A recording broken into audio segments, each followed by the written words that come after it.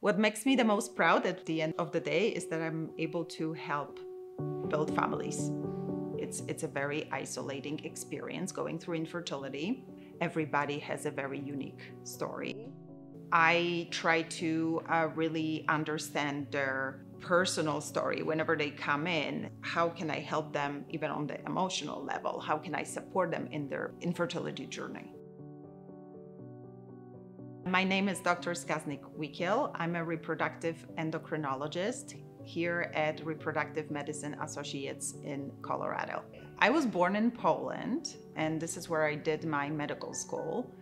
Um, and then came to the United States in early 2000s uh, to do actually research in reproductive biology um, at Harvard Medical School. So outside of work, I really enjoy spending time with my family. I have three children. We enjoy hiking, just spending time together.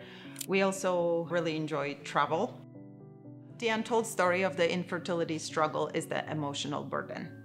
Because most people expect that they're not going to have trouble getting pregnant, right? Because why would they, right? And then when it happens, it is very hard to deal with. If it's if it affects you, you don't really want to talk about it. So I think this is the toll it takes on families, on couples, and everybody is is is huge.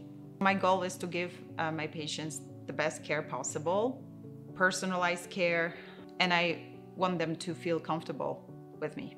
RMA has a great reputation because it's such a big network, we have access to excellent research that we can apply directly to uh, improve patient success in, in, in their uh, treatment. I like the, that, that I'm able to help my patients and every time we get successful pregnancy, it brings lots of joy and reward at the end of the day when I'm able to help a couple or an individual bring a baby into the world.